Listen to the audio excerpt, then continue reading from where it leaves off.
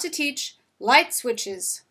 You can either get a light switch at a hardware store or one of these that operates lights without any cords. What I'm doing here is putting a pen cap with poster tack in it on top of the switch so it makes the switch easier to turn on and off. I'm also using poster tack on the back of the light switch to make it secure yet easy to move. Click for touches. Hold the light switch up and click your dog for touching it with his nose. If your dog knows chin targeting or nose targeting, you can get the ball rolling by practicing those first before you begin the lesson. Luring, push, and off. Yes. You can free shape your dog to turn the light switches on and off, but in this video yes. I'm going to show you how you can use luring. What I am doing is lifting the treat upwards so the dog's top yes. of the nose turns the switch on, and pulling the treat downwards yes. so the dog's chin turns the switch off and saying yes, yes as the switch moves. What I am not doing is pushing the switch onto the dog. The dog is doing all the movement while the switch stays still. Yes. Fading the lure.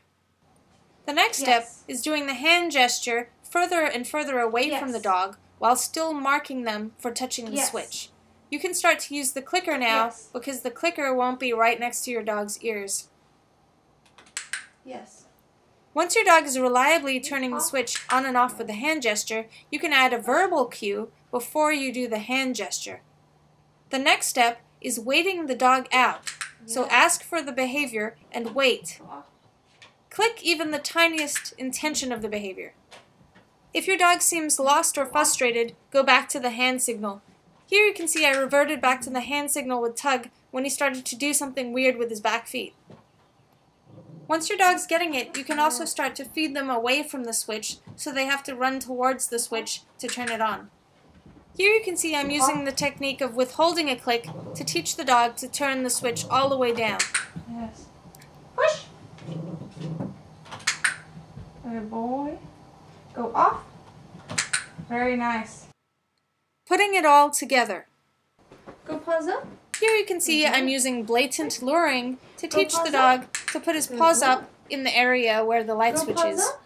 First I'm doing it with a treat, and then I'm doing it with no treat in my hand. Go paws up.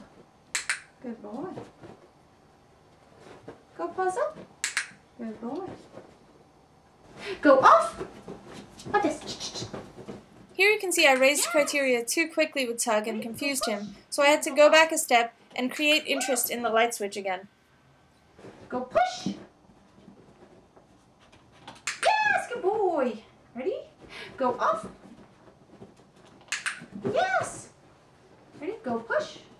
I mean, oops. Off! Good boy! Ready? Go push! Go push! Yes. Ready? Todd, go off? Yes. Tug, go push. Yes. Kiko and Splash were trained to turn the light switches on and off using free shaping. I wanted to show with Tug that you can teach the same quality of behavior using luring. The footage of Tug in this video was taken from one single training session of 10 minutes long. Tug already understood the process of fading a lure and adding a verbal cue. If your dog doesn't know this, it might take a couple more training sessions to achieve these results. See you next time!